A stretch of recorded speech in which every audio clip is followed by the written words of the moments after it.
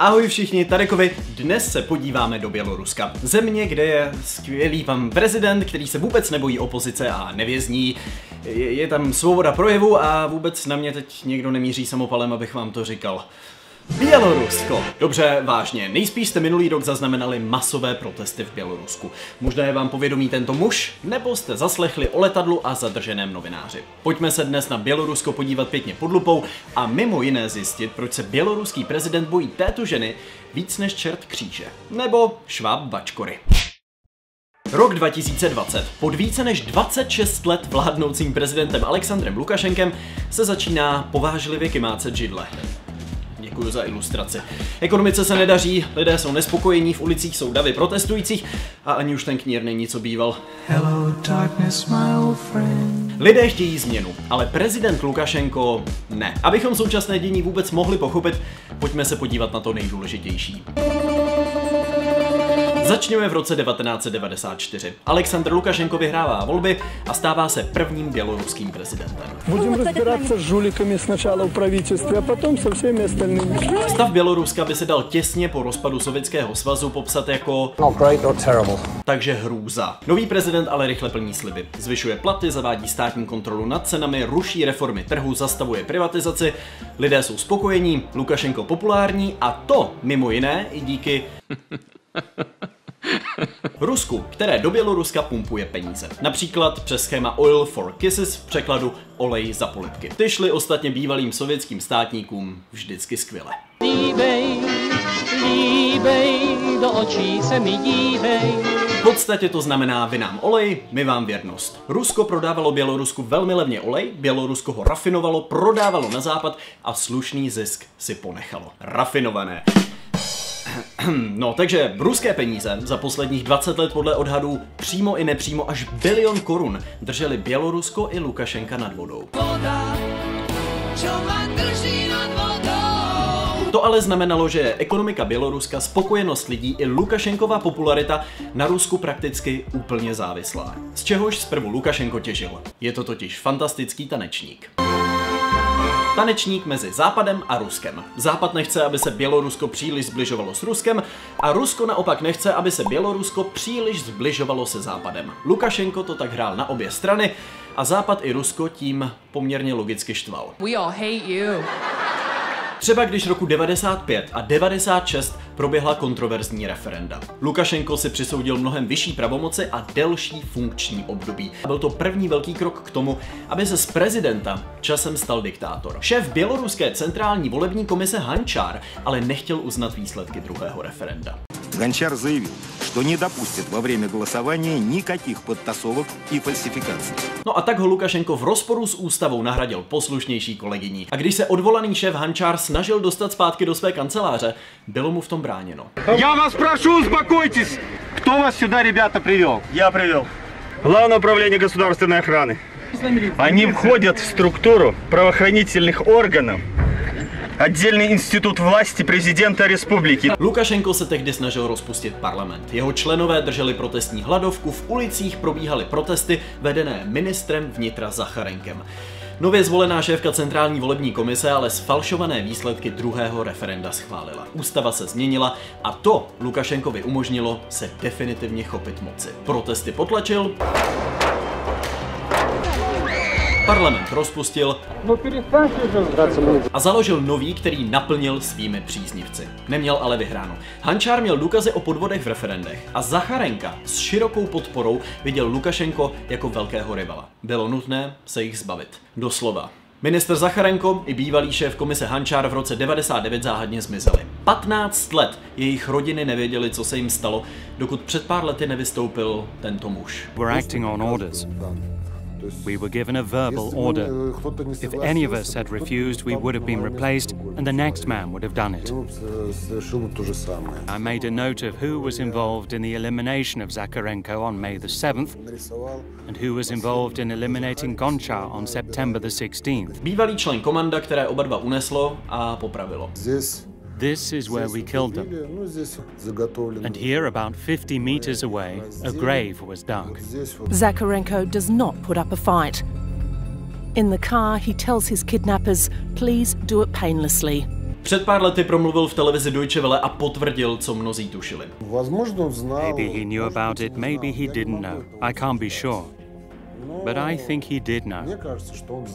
Obětí režimu je ale za ta léta dlouhá řada. Jen abyste měli lepší ponětí, proč je slovo diktátor možná o trošku výstižnější než prezident. Uf, no, ze západu v roce 96 samozřejmě zněla ostrá kritika. Lukašenko ale dobře věděl, jak ji umlčet. Stačilo západ pořádně vyděsit. They say it's a good deal for both their countries. Roku 97 podepisuje dohodu o Rusko-Běloruské unii. Tehdy se zdá, že by se mohla brzy sformovat unie obou států, k čemuž v praxi sice nikdy nedošlo, Západ to tehdy ale vylekalo dostatečně. Vše je stvrzeno polipkem jako za starých sovětských časů.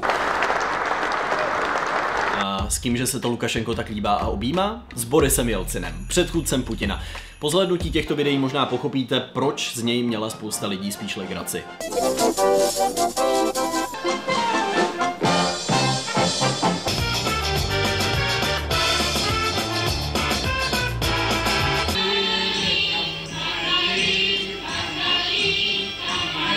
Ač byl i Jelcin dost tvrdý v potírání opozice, sotva se vyrovnal muži, který ho už za pár let nahradí. Schválně, jestli ho na videích z podepisování smlouvy najdete.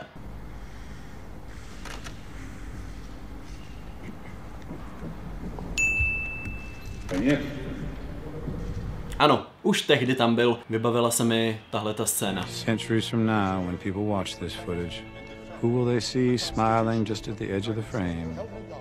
So help me God.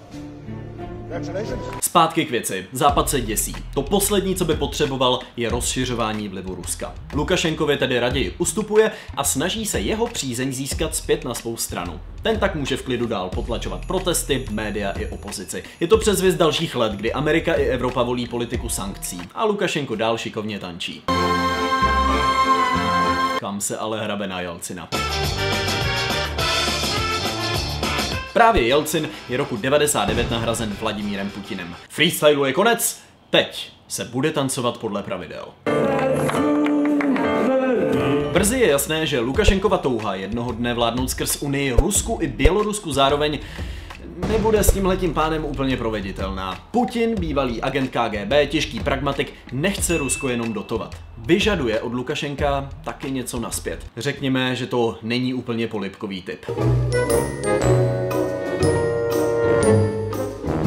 Přesně tuhle reakci měl Lukašenko pravděpodobně v momentě, když ho Putin žádal o výstavbu ruské základny na běloruském území. Lukašenko věděl, že by ho to na západě potopilo, navíc měl obavy, aby Putin brzy nechtěl Bělorusko ovládnout úplně. Rétorika se tedy mění. I my svou zemi nikomu neoddadím. Это моя задача. Как она не трудна и тяжела, я ее решу. И за моей спиной стоят сотни тысяч таких людей, váružen. Vztahy se tedy komplikují a Lukašenkovi obavy se navíc potvrzují v roce 2014 na Ukrajině, kterou Rusko napadá a anektuje poloostrov Krym. Ten připojilo ke svému území a tím porušilo Budapeštské memorandum. Důležitou mezinárodní dohodu, ve které se zavázalo respektovat ukrajinskou územní celistvost. Je to asi jako když se se sousedem v lavici dohodnete, kde je půlka a on si přes ní začne strkat penál. Pavle, přestaň anektovat jižní část naší lavice. No, nakonec to dopadne jak v jordánské televizi. لا لا لا لا يا انت اللي بدأ يا شاكر شاكر انت اللي شاكر يا اخوان انت اللي بدأ لا يا انت اللي بدأ يا سامر لا لا Anexe Krymu byl jasný signál. Putin už se nebojí ničeho. Za to Lukašenko se teď bojí až až. Putin od něj jako nejbližšího spojence očekává podporu anexe. Obzvlášť po těch všech letech, co Bělorusko financuje. A ozývá se Nic, nic se neozývá, Lukašenko mlčí, odmítá Putina podpořit, což je v očích ruského prezidenta jasná zrada. A Putin nezapomíná. Vztahy se rychle ochlazují. V roce 2015 je zrušeno zmíněné schéma Oil for Kisses, už žádné polipky. No more.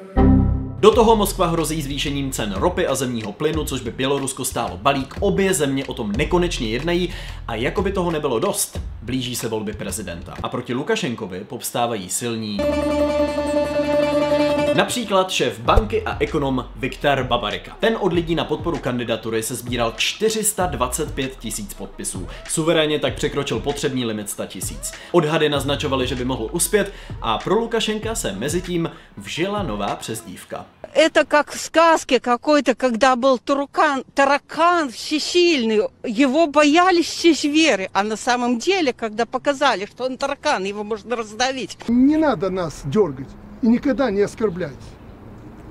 Вусатый таракан, еще чего-то. Я еще пока действующий президент. A právě přezdívku kníratý šváb rozšířil, mohl říct kolega, youtuber Jarhej Cichanovský, který se rozhodl kandidovat také. Na YouTube natáčel videa s obyčejnými lidmi. Z továren, z vesnic, které prezident prezentoval jako své vášnivé podporovatele, realita ale byla trochu jiná. Вы все призваны на службу народа. А что вы делаете? Вы служите одному člověku. O prezidentské křeslo se rozhodl ucházet také bývalý diplomat, ajťák a politik Valerij Cepkalo. A víte, co mají tito tři lidé společné? Ani jeden nakonec kandidovat nesměl. Režim a centrální volební komise, která je stále vedena tou ženou, která tehdy nahradila Hančára, jim kandidatury postupně pod různými záminkami zakazovala. No, no,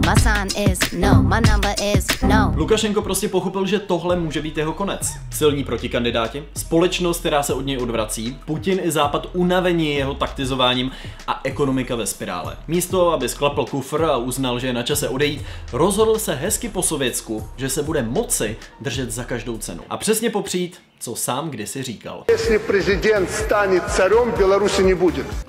Пока вы меня не убьете, других выборов не будет. Dramatická proměna.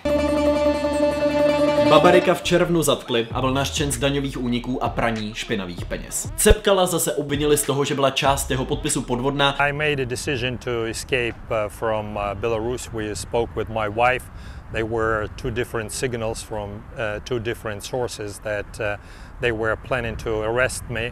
And then they approached our sons, our boys, and they wanted to deprive us with the parent rights. A Cichanovského zatkli při sběru podpisů a nyní mu hrozí 15 let za mřížemi. Zdálo se, že Lukašenko úspěšně eliminoval největší konkurenci. To by ale nesměli přijít. Ženy! Manželka zatčeného youtubera Sjarheje Cichanovského Světlana se spojila s manželkou uprchlého Cepkala a šéfkou kampaně vězněného Babarika. Kam se hrabe Beyoncé? Společně oznámili, že je Světlana Cichanovská společnou kandidátkou opozice. A jelikož je to žena, Lukašenko ji nebral vůbec vážně. Na otázky, jestli má Cichanovská šance na úspěch, odpovídal něco ve stylu Pure fiction. It's fiction. It's fiction. Cichanovská ale získává masivní podporu. Před volbami byla schopna srotit největší demonstraci v Bělorusku od pádu Sovětského svazu. Na její akce chodili tisíce lidí i přesto, že v Bělorusku může účast na opozičním mítingu znamenat vyhození z práce nebo zatčení. No a tím končí první část našeho vzrušujícího běloruského příběhu. V té příští se mrkneme na výsledky voleb, obří protesty, Lukašenka tváří v tvář pádu, únos i na to, co se bude dít dál. Navíc se dozvíte, jaký vzkaz pro vás má samotná Světlana Cichanovská osobně.